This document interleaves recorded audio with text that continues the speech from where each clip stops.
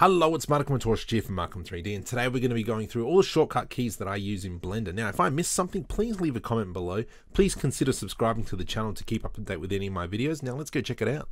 Let's start off with the most basic, delete. We always delete that default cube. Shift A will be able to add a new mesh, or curves, or empties, or lights, or text. To search for anything, press F3, and then we can search for whatever we want. If our cursors move, we do Shift S and we can move it to the world origin or selection to cursor. Pressing the tab key, we can go between object mode and edit mode. Pressing N will bring up the side panel over here. Pressing T will bring up the side panel on the left. And now let's start working on our mesh. We can select anything we want. We can press G to move, R to rotate, S to scale. Now, if we want to reset all that, we can go Alt S to reset the scale, Alt R to reset the rotation, Alt G to reset the location. In any one of these, I can press G and move it anywhere. But if I press Shift Y, it'll eliminate the Y axis, so I can no longer move along the Y. Shift X, and I can no longer move along the X axis. This is the same as scale and rotation. We can also enable snapping, so if I press G to move, I can hold control and it'll move per increment. And we can change that up here if we want to snap to vertices, edges, faces, increments, and so on and so forth. To move around our view, we hold middle mouse button, and to zoom in and out, we use the mouse wheel.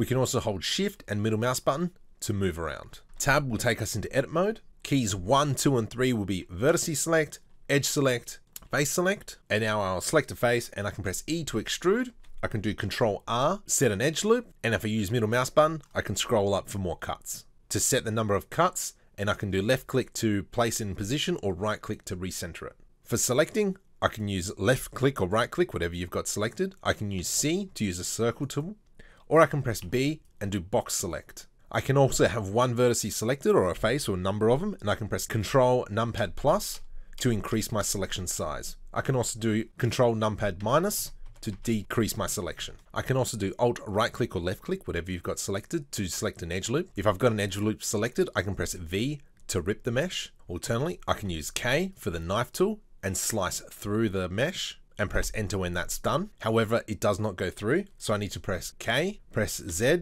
to cut through the whole mesh and enter. And now it's gone all the way through.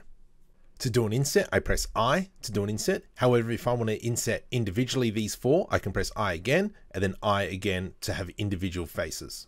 If I have a face deleted, I can alt right click around the edge and press F.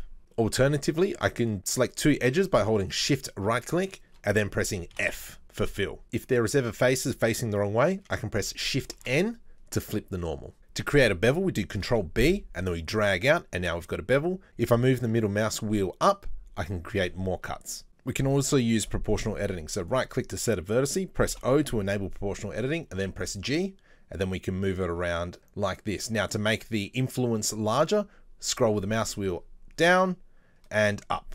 Now these two meshes are separated. I can select this mesh and press L and it'll select everything that is linked. From here I can separate these meshes by clicking P and separate by selection and now we have two different objects. I can select both with shift right click or left click, control J to join and now they are one mesh again. I can hide this mesh by pressing H. I can select another mesh and do shift H to hide everything else or I can use forward slash and hide everything else and zoom into my object.